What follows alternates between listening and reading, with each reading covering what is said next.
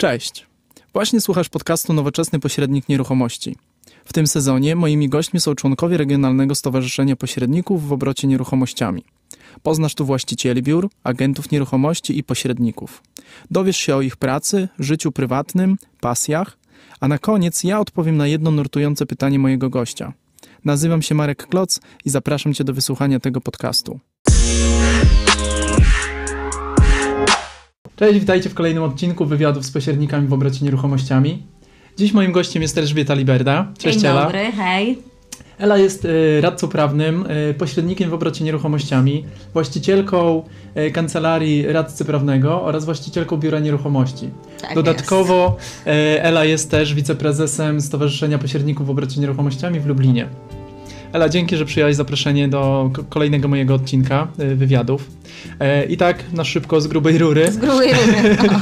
Powiedz, jak to u Ciebie się zaczęło z, z pośrednictwem, z, w ogóle z, nieruchomościami? pośrednictwem, Generalnie y, z pośrednictwem y, zaczęło się trochę później niż z prawem, bo ja w zasadzie od zawsze wiedziałam, że ja chcę być y, prawnikiem.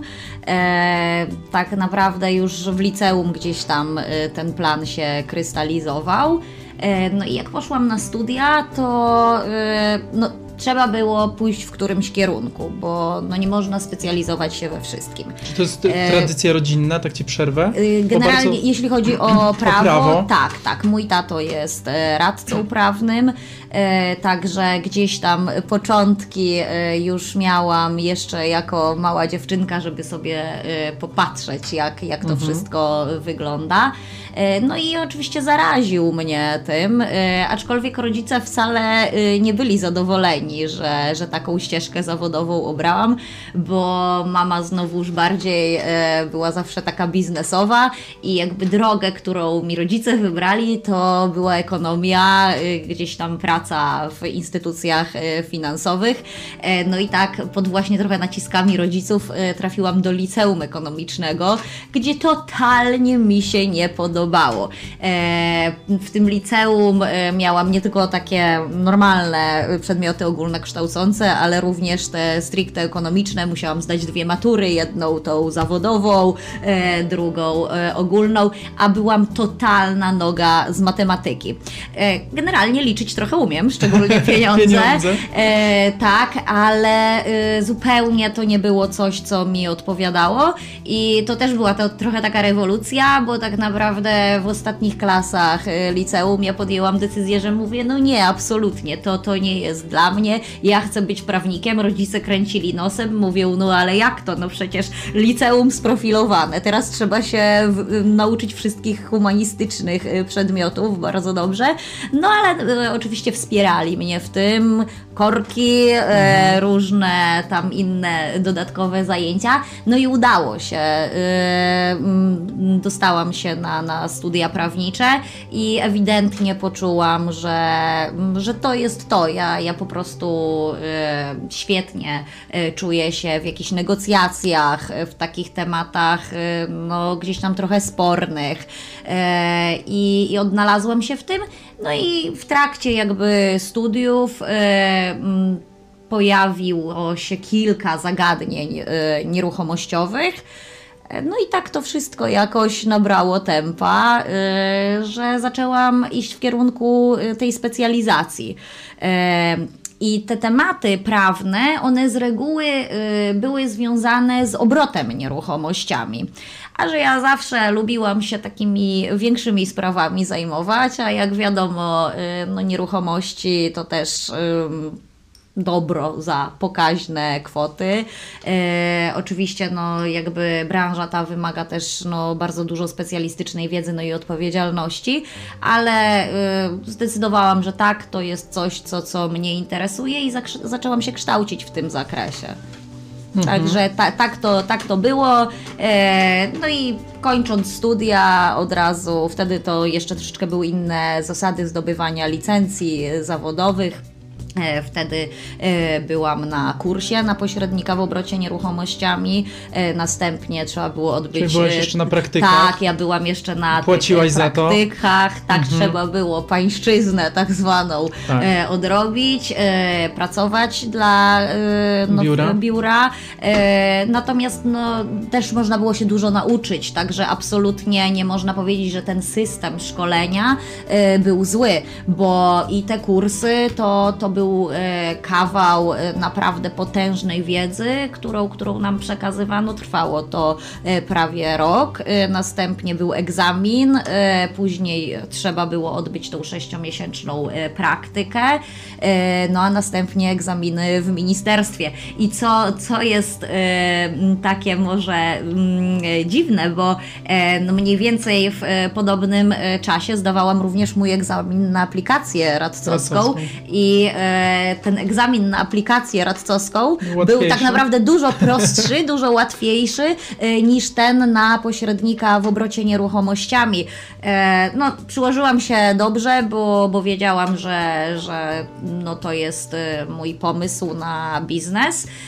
W związku z tym egzamin ten na licencję udało zdać mi się za pierwszym razem. Także no tak trochę mm, mm, te dwie drogi się tak naprawdę mieszały ciągle, że z jednej strony y, kształciłam się w zakresie obrotu nieruchomościami i y, na aplikacji i wcześniej na studiach y, w zakresie prawa. No i kiedy padła taka Twoja decyzja o tym, że chcesz już otworzyć, jesteś gotowa na to, żeby otworzyć swoje biuro nieruchomości? Znaczy ja tak naprawdę trochę mm, no, mm, rzuciłam się naprawdę na głęboką wodę, bo ja dość dobrze siebie diagnozowałam i ja zawsze wiedziałam, że mój charakter nie pozwoli na to, żeby mieć szefa. Mhm. E, miałam swój pomysł na to wszystko. E, miałam też e, no, sporo doświadczenia, bo ja podczas studiów, ja przez całe studia pracowałam. E, także to nie było też tak, że, że otworzyłam e, firmę i byłam totalnie zielona, że uczyłam się na, no nie wiem, no, klientach. E, także ja już bazę solidną miałam, natomiast tak naprawdę od razu po studiach, kiedy tylko licencję na pośrednika zdałam, ja otworzyłam od razu biuro nieruchomości i otworzyłam również biuro doradztwa prawnego. Także te, te równolegle. równolegle, tak. Mhm. Odnośnie tego, że nie, nie potrafisz mieć nad sobą szefa, to tak mi się trochę przypomina yy, taka sytuacja, jak ja zostałem prezesem stowarzyszenia, ty ustąpiłaś tego miejsca yy, i jak wyglądały nasze relacje, tak? Gdzie, gdzie tam musieliśmy się troszeczkę, troszeczkę dotrzeć. Troszeczkę musieliśmy się dotrzeć, oczywiście. Bo ja też nauczyłem się zarządzania zespołem tak. i jakby jak wszedłem w tą rolę, to uważałem, że gdzieś trochę odgórnie trzeba pewne rzeczy zrobić i to, to tak, było no takie no namacalne, nie, nie że... było to proste, aczkolwiek myślę, że daliśmy radę, radę i dajemy radę rok. E, do tej pory. No zresztą e, no jakby no sama Ciebie rekomendowałam tak. na, e, na prezesa, także wiedziałam, że, że to na pewno będzie dobry wybór, a, a wybór ten był też przemyślany, także, mhm. także nawet jak coś tam było między nami nie tak, to no to też no, jesteśmy jednak już dojrzałymi przedsiębiorcami. Być może gdybyśmy się z naszymi charakterami spotkali kilka lat, lat wcześniej, to mogłoby być naprawdę ostro. E, ale myślę, myślę, że fajnie się teraz uzupełniamy. Ja, też e, pamiętam, że mi zawsze przeszkadzał szef nad, nade mną. Zawsze czułem mhm. wewnętrznie, że to nie jest to od samego początku kariery. I stąd też moje decyzje o otworzeniu działalności, bo pomyślałem, że ciągle jestem tłamszony albo muszę robić coś, czego Co nie, do końca nie rozumiem, leży. to nie leży, ale można coś zrobić lepiej, więc chciałem mieć jakby taką władzę nad samym sobą i to, to mnie też zdeterminowało.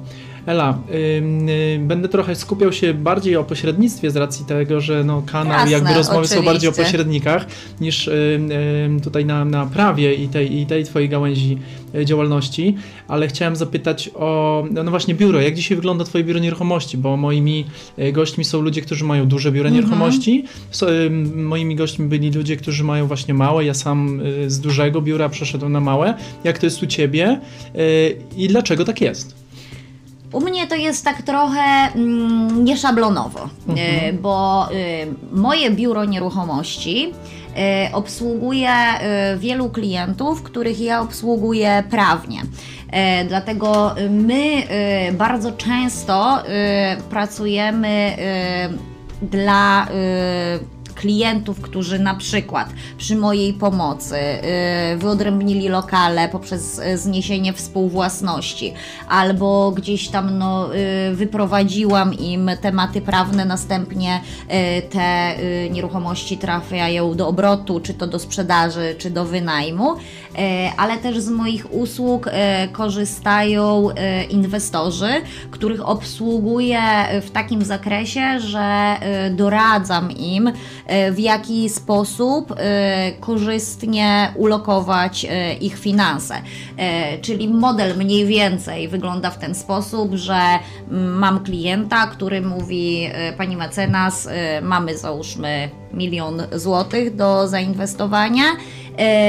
I proszę mi podpowiedzieć, w co bezpiecznie, w co bezpiecznie jaki typ nieruchomości, E, I tutaj e, właśnie wykorzystuję mój personel e, z biura nieruchomości. Szukamy dla klientów takich okazji i w zależności od tego, jaki typ działalności dany inwestor wybierze, no to również albo pomagamy obsługiwać flipy, oczywiście do tego stawiamy stosowne spółki mhm.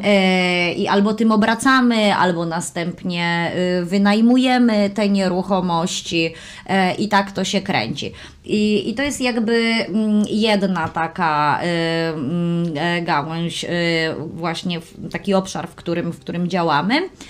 Natomiast jakby też obsługujemy klientów jak takie typowe biuro nieruchomości. Czyli pozyskujecie z pozyskujemy, o, oczywiście, pozysk, bo, bo umówmy się, y, tego, bez tego tak naprawdę za bardzo to, to nie może funkcjonować. Y, też my musimy mieć w swoim portfelu y, wiele nieruchomości, że właśnie jak przyjdzie chociażby taki mój klient kupujący, to żebym ja mogła mu od razu coś zaproponować. Także też pozyski, również ogłoszenia, Y, zajmujemy się i sprzedażą, i wynajmem. Oczywiście staramy się pracować z klientami na zasadach y, umów y, wyłącznościowych i to jest główna, główny jakby dział, gdzie obsługujemy tych klientów w, w takim zakresie, że no jest, my jesteśmy tylko dla nich, ale i oni są też tylko, tylko dla, nas. E, dla, nas. ale e, też e, nie będę tutaj ukrywać, że też współpracujemy i na, um, e, z klientami e, w oparciu o umowy otwarte, dlatego że czasami, kiedy mamy już klienta kupującego, mhm. a, a sprzedawca ma kilka e, umów podpisanych już, no to my tutaj no, nie będziemy wylewać dziecka z kąpielą i udawać, że no dobrze, dobrze, no to, to w ogóle rezygnujemy z tej transakcji, tylko wtedy decydujemy się również e, na taką współpracę, ale bardziej już e, wygląda to tak, że najpierw e, mamy konkretnego klienta, dla którego poszukujemy, czyli tak w przypadku tej współpracy na umowach otwartych raczej staramy się no, nie robić takich pozysków, że po prostu aby wprowadzić na do sztukę. bazy na sztukę, tak, mhm. tylko to, to już jest jakoś tam stargetowane. Okej, okay, Ela, jeszcze zapytam Cię, bo też y, ten wątek jest poruszany w moich odcinkach. Wynagrodzenie pośrednika. Mhm. Jest takim mitem, który zresztą już tam się powielał, że za co pośrednik bierze wynagrodzenie. Y, no i pytanie też, co z 0% od kupującego. Mhm. Y, też trochę od, wykorzystam jakby tą Twoją wiedzę jako redakcji prawnego. E, ja powiem tak, to jest temat e, rzeczywiście taki e, bardzo drażliwy dla całego środowiska, środowiska. tak? E, wynika to z tego, że wiele firm po prostu e, pracuje w oparciu o różne modele biznesowe. I e, ustawa o gospodarce nieruchomościami, w ogóle obowiązujące przepisy, nie narzucają pośrednikom, żeby pracowali, załóżmy, tylko w oparciu na umowy wyłączne, albo tylko, że mogą pobierać prowizję od klienta kupującego albo od sprzedającego. Tak nie jest. Tutaj ustawodawca pozostawia nam pełną dowolność tylko musi to być fair w stosunku do obu stron transakcji. I jeśli pytasz o to, jak ja pracuję, to powiem, to zależy. Dlaczego? Dlatego, że jeżeli to jest taki klasyczny deal, czyli pozyskuję ofertę, a następnie szukam na nią nabywcy, to pobieram wynagrodzenie z dwóch stron. I od mhm. sprzedawcy, i od kupującego.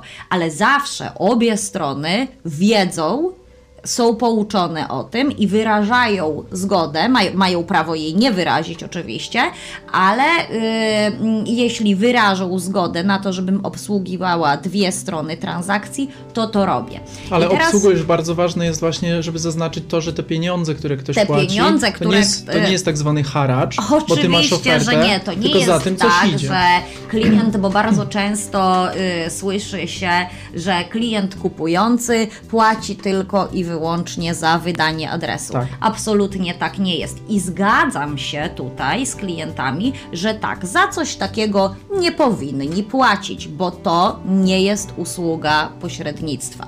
Natomiast e, klienci często niestety nie wiedzą e, o tym, e, ale, a nie wiedzą dlatego, że być może pośrednicy dobrze im tego nie tłumaczą, jakby dlaczego to wynagrodzenie jest ukształtowane na takim, a nie innym poziomie i dlaczego jest tak, że płaci i sprzedawca, i kupujący. Jest tak dlatego, że zupełnie inną robotę wykonujemy dla sprzedawcy, a zupełnie inną pracę dla kupującego. I jeśli obsługujemy te dwie strony, to wtedy zgodnie z przepisami wręcz powinniśmy pobrać wynagrodzenie, dlatego że przepisy wyraźnie mówią, że pośrednik świadczy usługi za wynagrodzeniem. Natomiast y, są firmy, y, które działają e, na rzecz tylko i wyłącznie jednej strony. I wtedy oczywiście nie pobierają wynagrodzenia y, od tej strony, której nie obsługują, no bo za co? I to jest jak najbardziej dopuszczalne.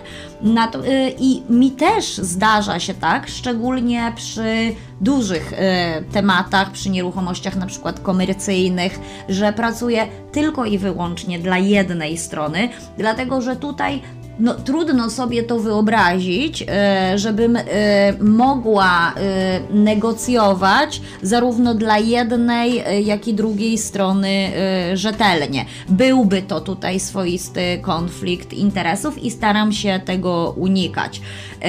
Ale mówi się też o tym, że pośrednik ma możliwość obsługi dwóch stron Oczywiście, transakcji. ma możliwość. Ale wtedy staje się na staje się takim mediatorem bardziej, Sta czyli już nie negocjatorem i nie Oczywiście, y, wtedy nie reprezentuje dwóch stron, tak, no bo jest konflikt interesów. z wytycznymi y, UOKiK-u, wtedy co do zasady nie bardzo można uczestniczyć y, w negocjacjach, tak jak często pośrednicy błędnie piszą w swoich umowach, że w zakres czynności pośrednictwa wchodzi właśnie negocjowanie.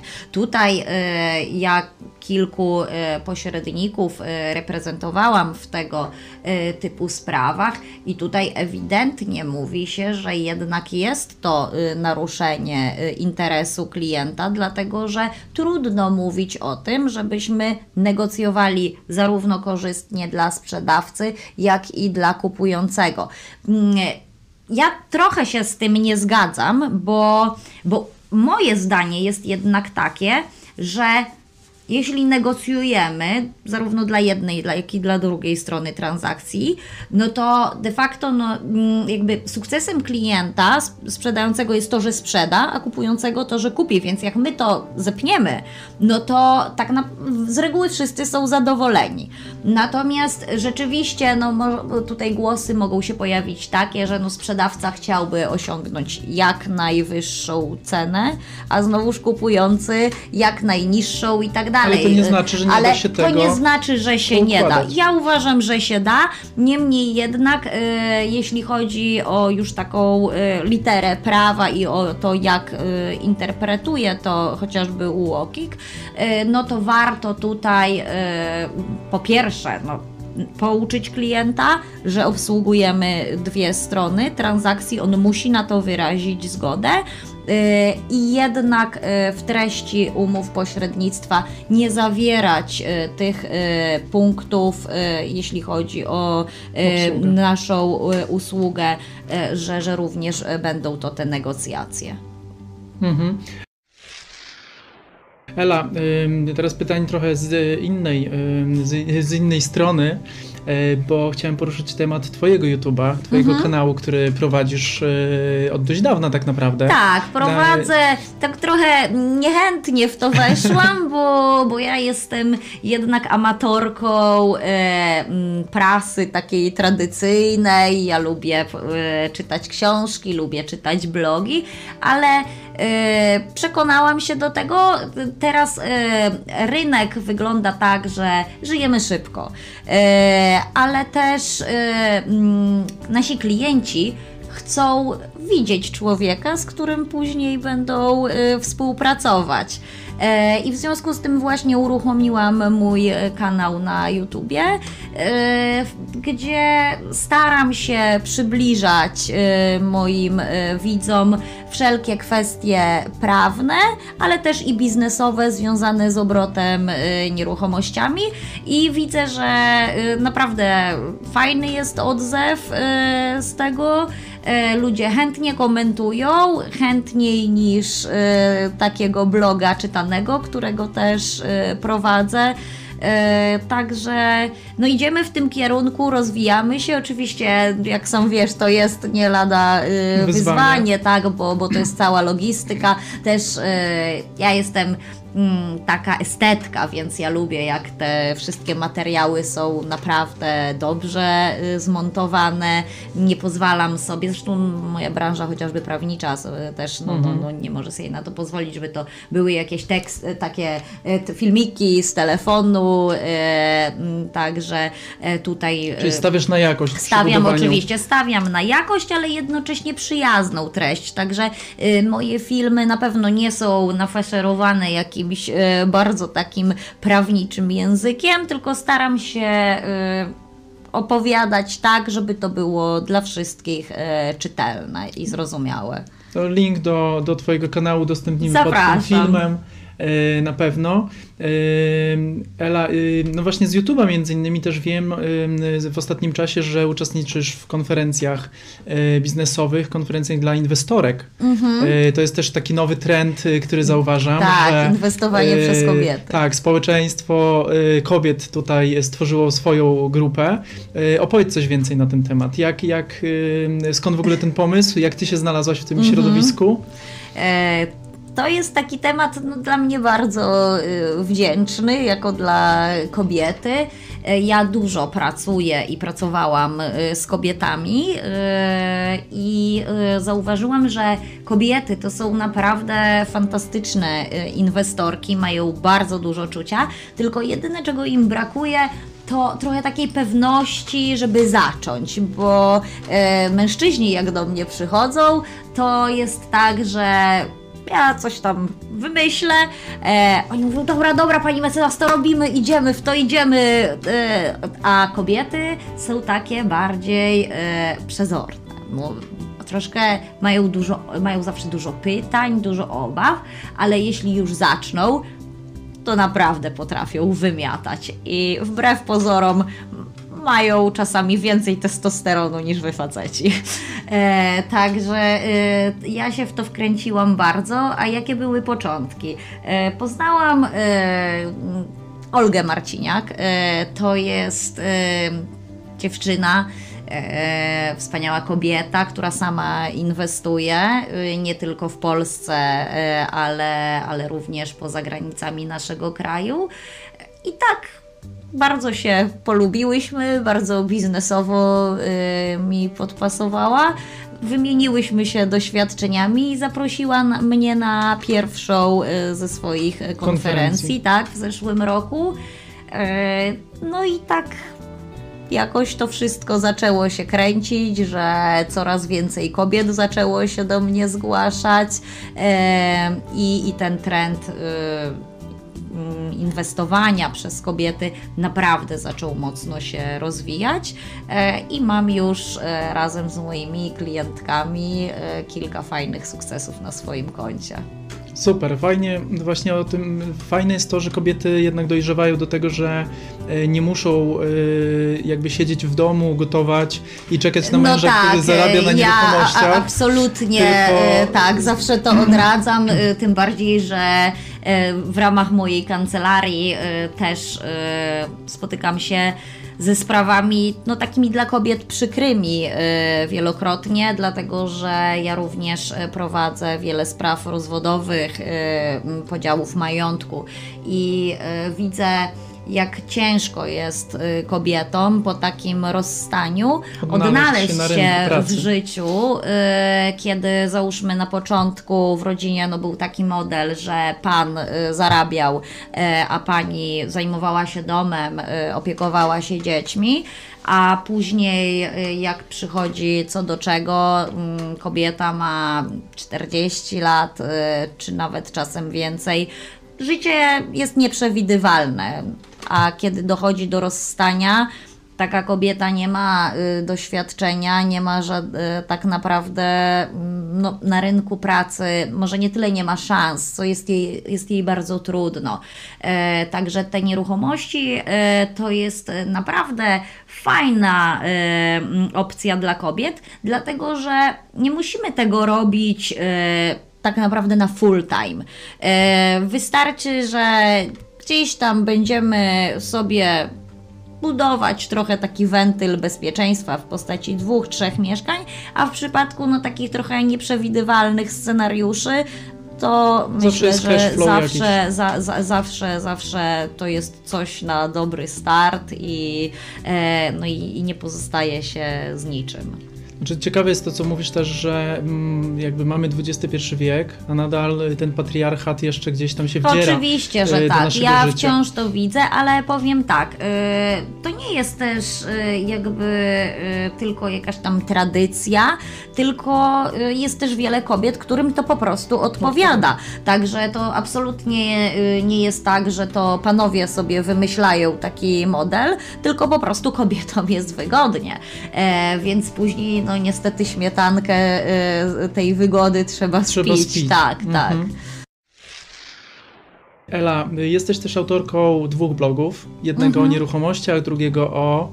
Y, to też to trochę nawiązujemy już do pasji. Y, konie. I teraz, no jak powstały w ogóle blogi i mm, czym się dzielisz mhm. z czytelnikami? I do, do, kogo kierujesz te blogi przede wszystkim? Mhm, to tak, no blok y, jeden to jest o prawie i o nieruchomościach. E, I ten blog prowadzę już dobrych y, kilka lat. E, w zasadzie jako radca prawny byłam jedną z takich pierwszych osób, które, które zaczęły właśnie publikacje w tej formie. E, tutaj skupiam się głównie w obszarze rynku nieruchomości, e, no i oczywiście zagadnieniach prawniczych z tym związanych. E, to jest taki blog, gdzie ja klientów chcę uświadamiać, bo często do mnie trafiają osoby za późno kiedy mleko już się rozlało i wtedy tak naprawdę nawet 10 kancelarii nie jest w stanie pomóc. I ten blok ma na celu yy, takie czasami zapalenie takiej czerwonej lampki, żeby ludzie wiedzieli, na co zwrócić uwagę e, i nieodpłatnie dzielę się moją wiedzą. E, blog ten e, myślę, że, że sporo może pomóc, szczególnie takim osobom e, początkującym. Ale też na tym blogu, jeśli na przykład e, coś jest e, nowego, czy zmienią się przepisy, czy na przykład jest jakieś fajne orzeczenie, które jest e, ważne, na przykład dla pośredników w obrocie nieruchomościami, to ja zawsze tam coś wrzucę, a że lubię pisać czytelnicy mówią, że, że mam lekkie pióro, y, także, także chętnie to robię. Y, zawsze gdzieś tam nocą y, to te, te, te artykuły powstają i, i to hula. Natomiast jeśli chodzi o drugi blog, to jest blog dla pasjonatów e, jeździectwa, e, ale również dla profesjonalistów z zakresu e, jeździectwa i hodowli koni.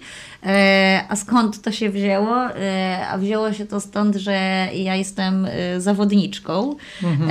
Tak, i w czasach juniorskich startowałam na dość wysokim poziomie e, w rywalizacji sportowej, później, no wiadomo, studia, więc trosz, e, aplikacja, e, więc było na to mniej czasu, ale z koni nigdy nie zrezygnowałam. To I... o konie jeszcze za, za tak. zapytam, nie, nie wyprzedzajmy tego tak, faktu. Natomiast bo... stąd też powstał właśnie ten blog i blog Prawo i Konie to jest blog skierowany do osób, które na przykład chcą sobie kupić konia. A uwaga, konie czasem są dużo droższe niż takie typowe mieszkanie.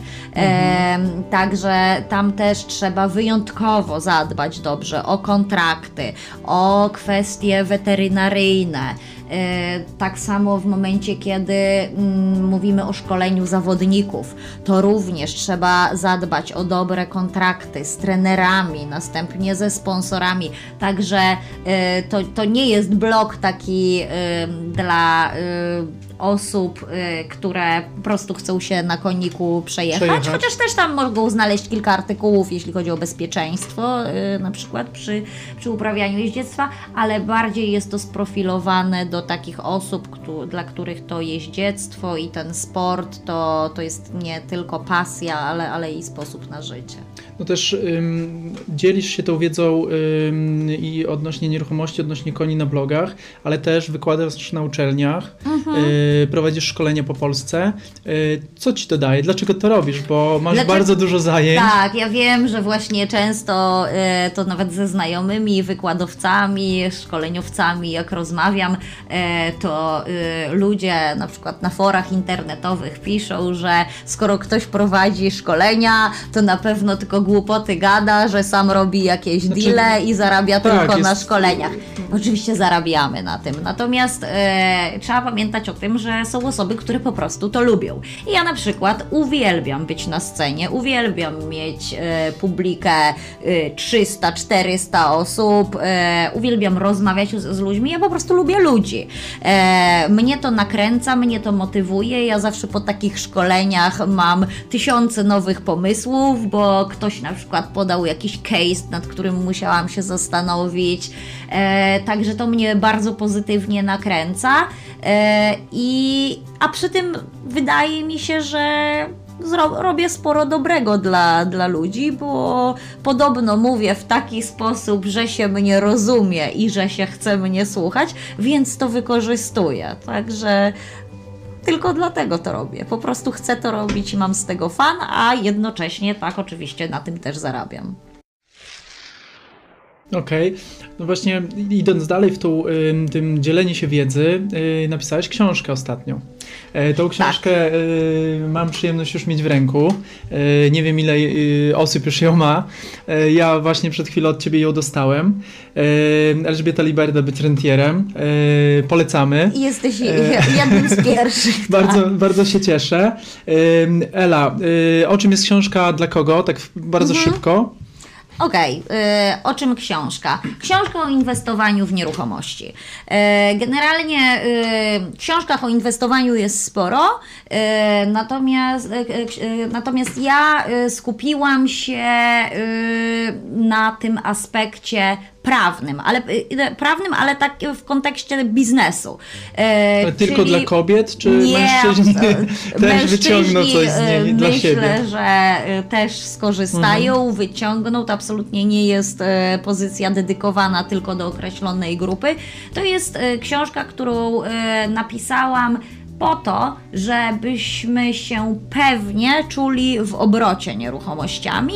Y, generalnie skupiam się y, tutaj na inwestowaniu w nieruchomości y, mieszkalne pod wynajem. I cały proces od momentu zakupu nieruchomości, jak wybrać, jak obliczyć stopy zwrotu jest omówiony, następnie jak dobrze podpisać umowę przedwstępną, następnie sprzedaży, a później płynnie przechodzimy do tego, jak wynajmować i jak nie zafundować sobie niechcianego lokatora na wiele lat, ale też poruszam takie y, kazusy, gdzie no, jeśli już coś takiego się nam przydarzyło, to jak sobie z tym poradzić? Super, więc y, dla osób, które myślą o inwestycji, no, y, o inwestowaniu w nieruchomości na pewno świetna y, lektura, zachęcamy. No i mamy, y, mamy prezent dla naszych słuchaczy tak. i dla naszych oglądających. E, mianowicie na hasło Elżbieta Liberda 007 e, dostajecie rabat na zakup książki. Link do, y, do strony, na której będzie sprzedaż, e, tak będzie jest. też udostępniona pod filmem i po, pod y, podcastami. Ela, ja bardzo dziękuję Ci za rozmowę, dziękuję za prezent. Mam też e, na koniec dla Ciebie prezent ze swojej strony. To też. O proszę. Piękne nowe moje logo. nowe logo, tak, które, które gdzieś tam też wprowadzam od niedawna. Także bardzo proszę. Bardzo dziękuję. Mam nadzieję, że ten odcinek E, wam się podobał. E, zapraszam do komentowania, do pisania. Nie, być może nie na wszystkie pytania odpowiem. Osoby, które nas słuchają, też zapraszamy do pisania komentarzy. E, jeszcze raz dzięki, Ela. Dzięki, do zobaczenia dziękujemy. w następnym odcinku. Hej.